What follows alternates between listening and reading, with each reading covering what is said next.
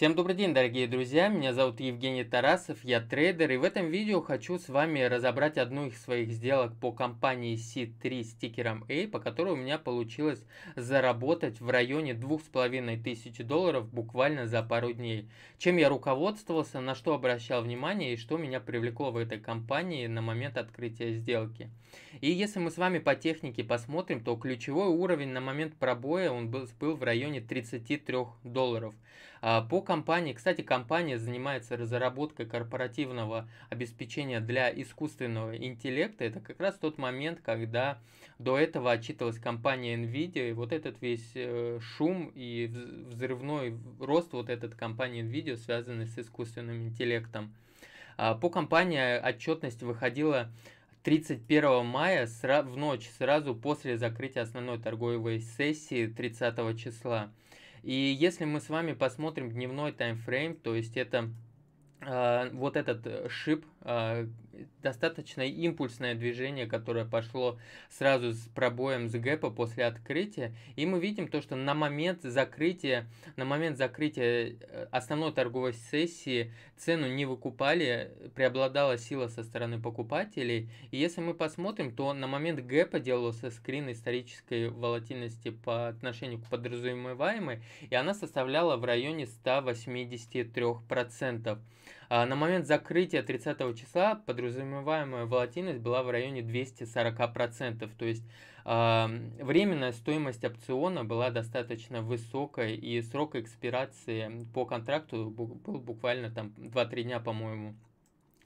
А, на момент открытия следующего торгового дня э, отчетность вышла по компании хорошая, но эту отчетность уже заложили вот в этот рост, вот в этот гэп, который был.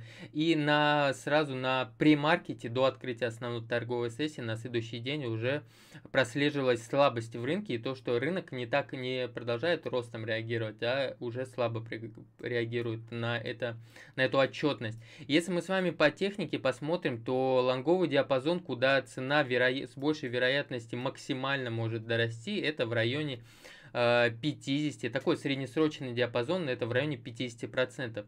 И ставка была именно на то, что э, за два дня э, был продан непокрытый июньский, июньский кол ставкой на то, что до, получается, вот с 31 числа и если мы с вами посмотрим, то буквально там два дня, буквально два дня ставка на то, что до до экспирации, до 2 июня цена не будет выше, наход, будет выше, наход, ниж, находиться ниже 50 долларов.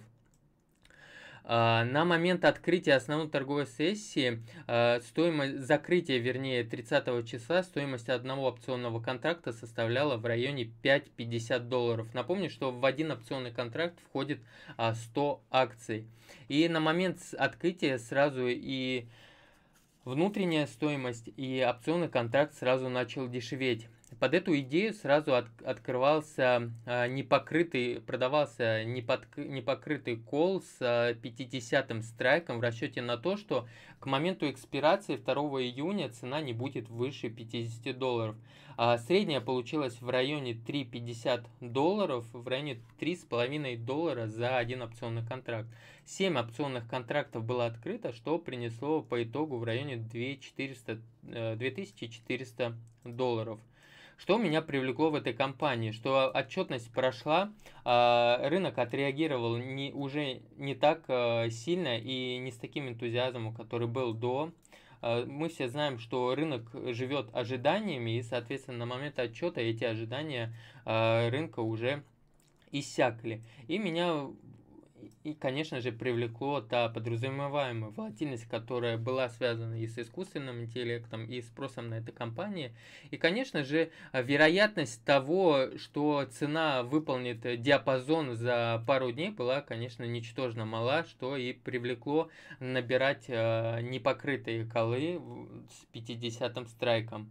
Вот под эту идею я присоединялся, присоединялся к этой компании. Вот на текущий момент, если мы с вами даже посмотрим, а, на текущий момент э, диапазон также все не выполнен. Цена э, торгуется в районе, э, вернулась в тест, закрыла гэп, по которому у него был, вернулась в тест зоны 32-33, оттестировала его и сейчас все равно продолжает торговаться в, в районе своего э, такого среднесрочного лонгового диапазона.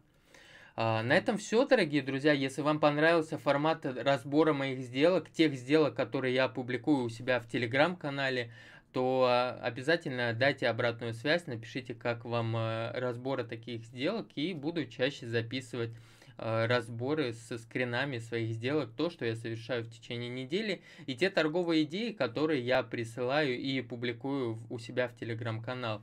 Друзья, кто не подписан в телеграм-канал, обязательно подписывайтесь, ссылка будет сразу под описанием видео в и в шапке профиля можете тоже посмотреть. Все, на этом всем спасибо, дорогие друзья. Спасибо за внимание. Обязательно ставьте обратную связь. И до встречи на финансовых рынках. Увидимся. Пока-пока.